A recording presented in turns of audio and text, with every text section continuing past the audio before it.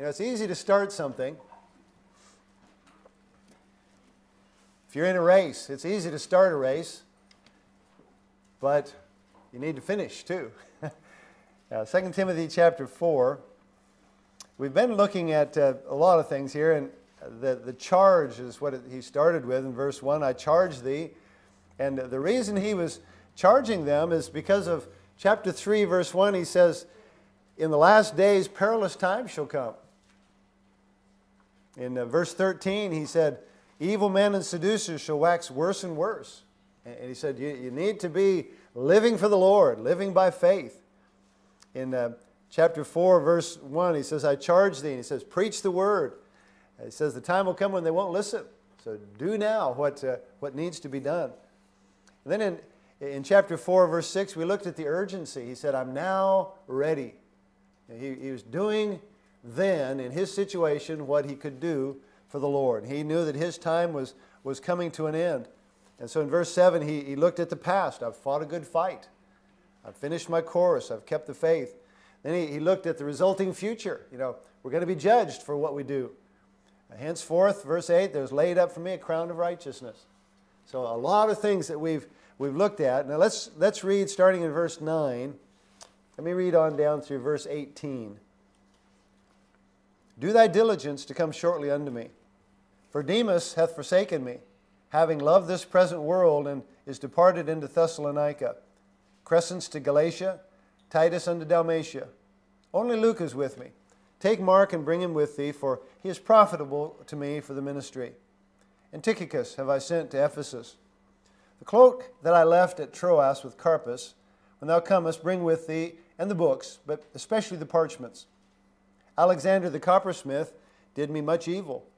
The Lord reward him according to his works, of whom be thou aware also, for he hath greatly withstood our words. At my first answer no man stood with me, but all men forsook me. I pray God that it may not be laid to their charge. Notwithstanding, the Lord stood with me and strengthened me, that by me the preaching might be fully known and that all the Gentiles might hear. And I was delivered out of the mouth of the lion. And the Lord shall deliver me from every evil work, and will preserve me unto his heavenly kingdom, to whom be glory forever and ever. Amen. We'll just stop reading there. Uh, he, he's coming to the end of his ministry. This is the last book Paul, Paul wrote that God used him to, to write. And uh, this is very personal stuff here at the, at the end, isn't it? Uh, he was lonely. You know, he was pretty much on his own. I've always felt sorry for Luke. He says, Only Luke is with me. I know he didn't mean it in a bad way, but you can imagine he said, only Brad's with me, you know, only Alex is with me. yeah, he didn't mean it like that. Luke was a very, very faithful man, but you know, he was going through it, through a lot. It, it must have been, uh, prisons weren't then what they are now. I can guarantee you there was no colored television. Uh, he was forsaken. He used the word, uh, others had departed. You know, it wasn't that they forsook him, but they just had things they had to do. Others were sent. He talks about in, in verse 12. He sent this man to, to do something. Only Luke is with me. Uh, there was needs that he had. Uh, verse 13, uh, he, he, needed his coat. Winter was coming on. It said in verse, uh, verse 21, that we haven't read it yet, do thy diligence to come before winter. I'm going to need that coat. Um, very personal. In uh, Paul's writings, I'm told, I haven't counted them all, but I'm told that over 100 people are listed by name. And when he ends a book, he'll often talk about different ones. I counted 17 here. You can, don't, don't do it during the sermon, but uh, you can count them yourself if you want to.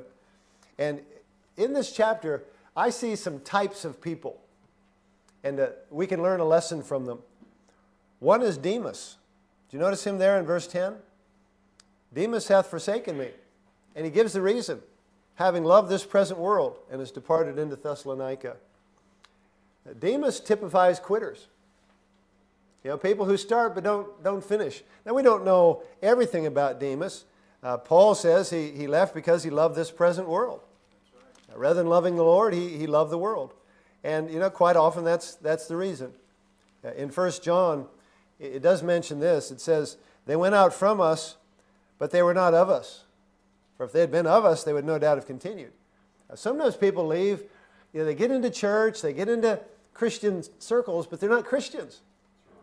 And it makes it's just always a rub, and it's always hard for them. And when they leave, I had one man tell me he felt so much better when he left, left our church, quit going to church altogether. Uh, you know, that, that's just the way it is sometimes. But be careful because when a person is saved, they can get backslidden. And uh, that could have been um, Demas, we, we, don't know. But First John talks about love not the world, neither the things that are in the world. Uh, that was what happened to Demas. We don't want to be like Demas. Uh, don't, don't quit. Don't quit the Lord. But then you also see some people who are uh, what I would call pioneers. And he talks about Crescens, the end of verse 10, and, and Titus. These are people who went off, they had other works that God had called them to do.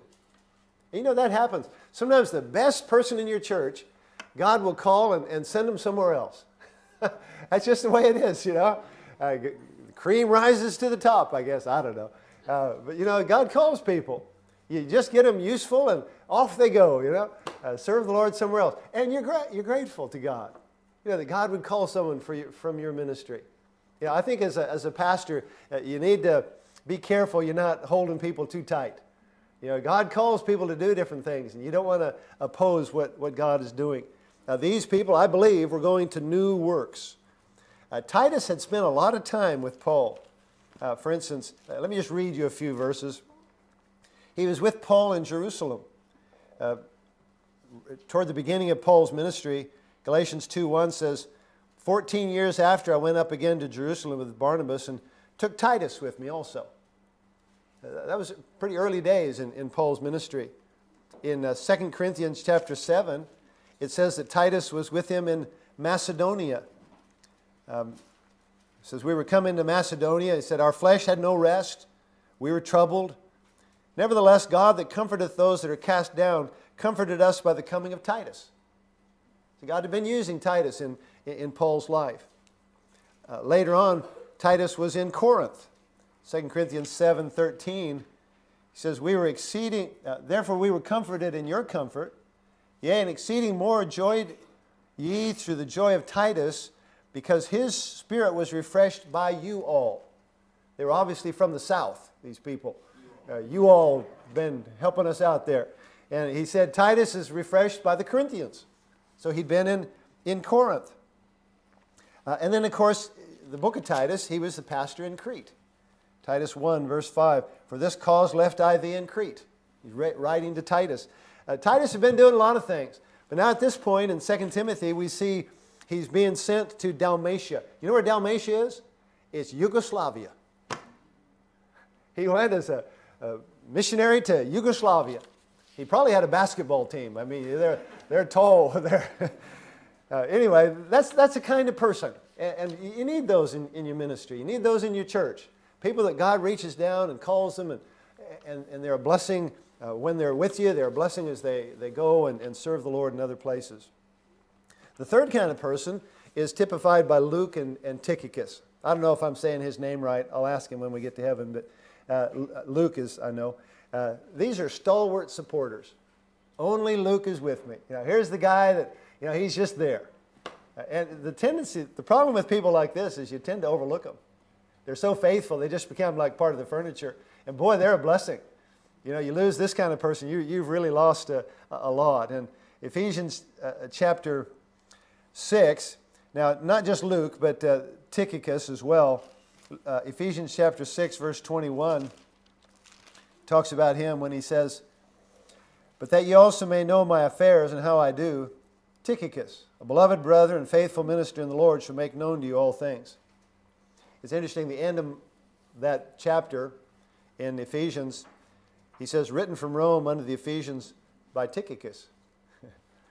he, was a, he was a real helper to, to Paul.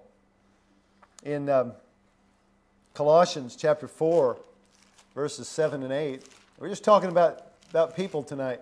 Uh, you know, God bless Paul through, through these people. Colossians 4, verse 7, he says, All my state shall Tychicus declare unto you, who is a beloved brother and a faithful minister and a fellow servant in the Lord. For the same I've sent him unto you for the same purpose. Here was this faithful fellow that Paul could trust to, uh, to send here and send there and do things that would be a blessing. Uh, Titus chapter 3, verse, verse 12 mentions him when he says,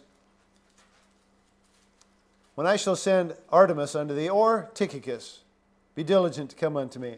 Yeah, here, here's these people that are just faithful men. Listen, a church cannot function without faithful people. You know, church is not just something you go to and sit and watch a show. Uh, I know Abraham Lincoln, he, he was a churchgoer. He said he, he liked to see a preacher preach like he was fighting bees. he, really, he wanted to see him have a go, you know. But you know, church is not just a show. Uh, I'm not going to jump on the pulpit and run around and bark and, you know, do things to entertain you. Uh, God's got to speak to our hearts, doesn't He? We've got to come because we love the Lord. We've got to have faithful people like Luke and, and Tychicus. Uh, we see Demas, he was a quitter. Crescens and Titus, they were pioneers. God called them out and, and sent them out. Luke and Tychicus, stalwart, faithful people. But then you see another fellow. Uh, what? Let's see, where am I? It's Mark, verse 11. Take Mark and bring him with thee, for he's profitable, profitable to me for the ministry. Now, just reading that, you wouldn't know this, but Mark is the person who represents a second chance. Uh, Mark had failed as a missionary. He'd gone with Paul and Barnabas, and then he quit. And uh, when they went to go again, Barnabas said, let's, let's take Mark again. Paul said, No way, we're taking that quitter. and uh, they, they had a disagreement, and, and they, they went their separate ways. But obviously, at this point, Mark had proved himself to be faithful. Uh, listen, every one of us is going to fail at some point, in one way or another. Uh, some more obvious than others, but uh, we all need a second chance. And we all need to take that second chance. Don't think that because there's a failure that God can't do something with you. Now, sometimes we'll limit our ministries because of, of failures. But listen, you go right through the scriptures, you see he's the God of the second chance. Think about David, King David. Man, he messed up big time. God still used him. He, he repented. God didn't just use him in his sin, God used him because he repented. Uh, think of classic examples Jonah. Man, what a failure. Uh, God made sure everybody knew. Puked up out of a great fish. I mean, good grief. Peter, here's Peter, denies the Lord. And uh, God uses him. He, he preaches in, uh, in Jerusalem, and, and, thousands are saved. God, he's the God of the second chance. Uh, you know, people, people can be a blessing. People can also be a problem. Uh, that's why our reliance is on the Lord. Our reliance is not on ourselves, it's not on people, uh, it's on the Lord. Pa- Paul was involved with, with many people, and he was at a, a difficult time in his life. He also faced many problems. Some of those problems involved people. Did you notice Alexander there in verse 14? We don't know if this is the same Alexander that's mentioned in 1 Timothy, but probably is, maybe not.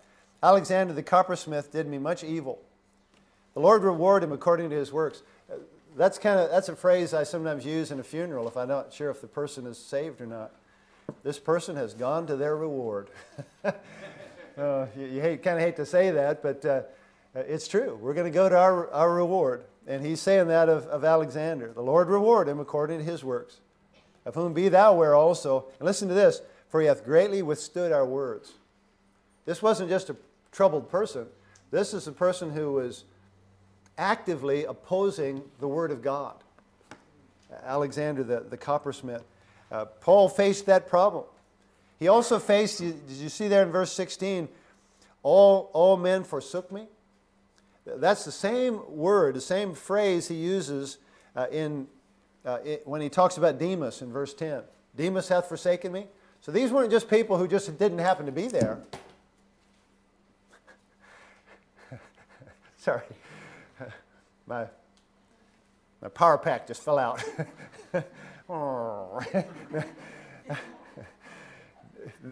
These were people that purposely left when Paul needed him. He said, At my first answer, no man stood with me. All men forsook me. Um, that's tough to take. You know, when you're counting on people to be there and, and they're not. And that's going to happen. You know, they, just sometimes people, what do we use the expression? They, they shoot through, you know. Um, he not only faced desertion and opposition, we haven't read it yet, but verse 20 says, Erastus abode at Corinth, But Trophimus have I left at Miletum sick. He faced sickness, disease amongst those he was working with. Now, stop and think about this. Paul was a healer. But Trophimus he left at uh, Miletum sick. You know, not everybody gets healed. Now, it's just the, the reality, isn't it? Uh, we pray for God's will, we pray for healing. Uh, we don't know. And we trust the Lord. Uh, we don't know what, uh, what happened with his sickness, but that, that would have been a, a difficulty that Paul would have been facing. Not only people, but I believe Paul is, is talking in the end of verse 17 about satanic opposition. He says, I was delivered out of the mouth of the lion. Uh, th- there's a lot of different theories as to what that represents. Uh, it could just be a lion, you know. But the problem with that is the Romans didn't normally put Roman citizens in with the lions. Uh, some people think it could refer to Nero. Now, I, personally, I think it refers to Satan. I think it's just an indirect reference, like he, the Bible says in 1 Peter uh, Be sober, be diligent, for your adversary, the devil, as a roaring lion, walketh about. Uh, Satan is our adversary. And uh,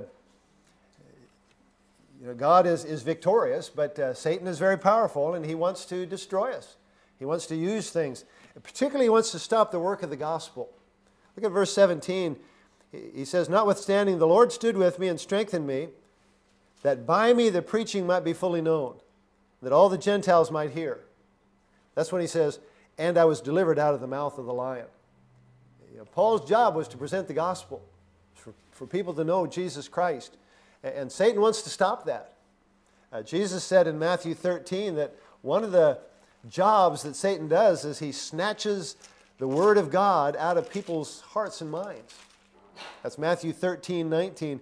When anyone heareth the word of the kingdom and understandeth it not, then cometh the wicked one and catcheth away that which was sown in his heart. Uh, Satan doesn't want people to hear and understand the gospel. You know, I often hear people quote the Bible. You'll hear it often in, in literature and in, just in people talking. And usually they don't know even that it's from the Bible. Satan loves that. You know, uh, for people to quote the Bible and, and, misuse it or not understand it, he doesn't mind that. He just doesn't want us understanding it. That's why it's so important for us as Christians to hide it in our heart and, and, and read it and, and, meditate on it and, and use it and uh, to let God speak to us through His Word. Uh, Paul was, was facing many, many problems. Some of them were people, some of them were satanic, some of them were just sinful things. Verse 18 The Lord shall deliver me from every evil work and preserve me unto His heavenly kingdom. Uh, you know, there's just a lot of wickedness in our world. Uh, and it affects us. Uh, you know, Paul would have, would have had struggles with uh, temptations and so on. Some of our greatest battles will be with self. Uh, Paul was facing personal difficulties, many problems with people, with Satan, with sin. But in all of this, his hope was in the Lord. There's a great word there in uh, verse 17 notwithstanding. Uh, our second son, Philip, had a preacher he really liked to listen to, and he, he was famous for using the word nevertheless. nevertheless. This is that, that kind of word. Notwithstanding, you know, no matter what's going on, we can trust the Lord. That's what, what he's saying there. Notwithstanding, the Lord stood with me and strengthened me, that by me the preaching might be fully known. Paul relied on the promises of God. This is a great example here. I mean, here he is in prison. He's about to be killed, and he's trusting the Lord. He was killed. His, his head was cut off because of his faith in Jesus Christ. But his faith was in the Lord. Let, let me show you four promises here, and then we'll be done. And no matter what, what the situation, if you're a Christian, verse 17, you have the promise of God's presence. Notwithstanding, the Lord stood with me. Now, you know, theoretically, we know as Christians that God is omnipresent. But this is more than that. This is not just that God is everywhere, this is God is with me. I'm on the Lord's side. There's some wonderful promises in the Bible concerning this. In Hebrews 13, uh, verse 5, he says, I will never leave thee nor forsake thee, so that we may boldly say, The Lord is my helper, and I will not fear what man shall do unto me. We have the promise of God's presence. In the Great Commission, Lo, I'm with you always, even unto the end of the world. What a blessing. God is, is with us. Uh, you know, we, we see the, the 23rd Psalm. In the 23rd Psalm, we're the sheep. the Lord is my shepherd, I shall not want. He maketh me to lie down in green pastures. Yeah. Uh, his presence, He's our shepherd. That's God's promise. Secondly, notwithstanding, the Lord stood with me and strengthened me. There's the second promise. God, God has promised to, uh, to give us the strength that we need to face what we're facing. The example that came to my mind was when Paul had asked the Lord to take away a sickness in 2 Corinthians 12. You're probably familiar with that. He asked the Lord, and the Lord said, My grace is sufficient for thee, for my strength is made perfect in weakness. He said, Paul, I'm not going to take away your sickness, but I'm going to give you my strength in your sickness. Now, I don't understand why God does some things. Neither do you. I mean, qu- quite frankly. But we know God is good. And we know as Christians we have the promise of His presence, we have the promise of His strength. Whatever we're facing, God says He'll, he'll see us through. You know, like when He told the disciples, Get in the ship, we're going to the other side. You could count on it. They were going to the other side. now, He didn't tell them we're going through a storm and it's going to be scary. He didn't tell them that. And I'm glad God doesn't tell us everything. Aren't you, aren't you glad you don't know everything that's going to happen? Uh, you know, uh, God will see us through. We just need to trust Him as we go. We have the promise of His presence, we have the promise of His strength. And that strength in, in Paul's life had to do with he was able to do what God called him to do, which was to preach the gospel. Yeah, we, we read it there how he said that by me the preaching might be fully known, that all the Gentiles might hear. We often use the verse, I can do all things through Christ which strengtheneth me. We use it, but we don't always actually believe it. uh, we need to believe it. That's faith. Uh, Isaiah wrote, here, here's a good verse. I'd encourage you maybe to memorize this. Obviously, I haven't, though. Isaiah 41, verse 10 Fear thou not, for I am with thee. Be not dismayed, for I am thy God. I will strengthen thee, yea, I will help thee. Yea, I will uphold thee with the right hand of my righteousness. We have God's promise of, of strength. Thirdly, his promise of his presence, his strength. Thirdly, his deliverance. Verse 17, at the end, he says, And I was delivered out of the mouth of the lion. Verse 18, And the Lord shall deliver me from every evil work. Now understand this God's deliverance doesn't always mean what you think it means. Uh, sometimes Paul was delivered to prison.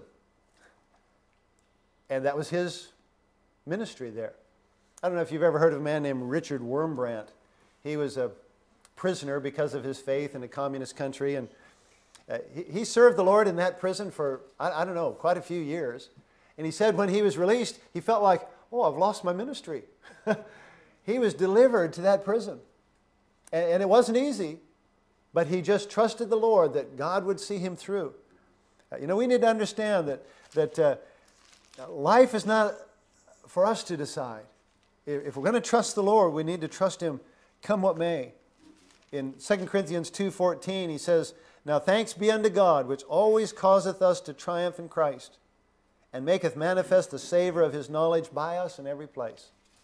Whatever we're facing, like Paul, uh, we know his presence, we know his strength, uh, we know his, his deliverance, giving us uh, what we, we need to face what we're facing. We sing a song, I Must Tell Jesus. One of the, the phrases is, Jesus can help me. Jesus alone. Problem is, oftentimes we look for strength where there is none. Uh, Paul relied on God's presence, he relied on God's strength, he relied on God's deliverance. And then finally, verse 18, he relied on, on God's preservation. The Lord shall deliver me from every work and will preserve me unto his heavenly kingdom. I found it interesting. Words are interesting. And this word, it's exactly the same word as in Romans 10:13 when he says, Whosoever shall call upon the name of the Lord shall be saved, preserved. You know, I hadn't really thought about it in that way. Preserve. You know, when you're preserving something, you're saving it. We're going to use that later. Well, God has promised to preserve us. He doesn't say, I'll preserve you in this way or that way, but he says, I've got a heavenly place prepared for you. It's the same word as in Ephesians 2 8. For by grace are you saved, preserved through faith. My question to you tonight is Are you saved? When he says, Whosoever shall call upon the name of the Lord shall be saved, have you called on the name of the Lord? For by grace are you saved through faith. Have you believed God's word? Have you trusted Him? Uh, remember, it's by faith. He says it's not by works of righteousness. You, you know, the world will try to deceive you. Oh, you're all right. Don't worry about it. No, God says you, you need to be concerned about your soul. You need to make sure that, that you're saved. You know, there's, there's many uh, dangers and disappointments in life. But as Christians, we know this absent from the body, present with the Lord. Know, what a blessing uh, to know that we're preserved. Uh, if they take our life, we're, we're preserved. We're saved. We're on our way to heaven. Uh, you know, people will fail us. I won't have a raise of hands, but uh, we've all been failed at one time or another. And listen, we've been the person who's failed. We'll fail others. Satan and sin afflict us all. The key is decide which side you're on and then trust the Lord and serve Him. Just keep trusting the Lord and, serving Him. Uh, Jesus doesn't fail. Cling to His unchanging hand. Don't presume that you know more than God. Uh, Paul going through all this, and yet he's able to say, Notwithstanding, the Lord stood with me and strengthened me, preserved me, delivered me. All of those things are true. Let me, let me read the last part of this chapter. There's a lot of interesting names. Salute Prisca and Aquila and the household of Onesiphorus. Erastus abode at Corinth, but Trophimus have I left at Miletum sick. Do thy diligence to come before winter. Eubulus greeteth thee, and Pudens, and Linus, and Claudia, and all the brethren. Lord Jesus Christ be with thy spirit. Grace be with you. Amen. I wanted you to particularly see verse 22. The Lord Jesus Christ be with thy spirit. Uh, we have that promise. He said he'll never leave us or forsake us. Uh, we need to use the power of the presence of the Lord in our lives, no matter what we're, we're facing. The Lord Jesus Christ be with thy spirit. Let's, let's take our song books. We're going to go to page 182. Jesus never fails. Get the. Uh,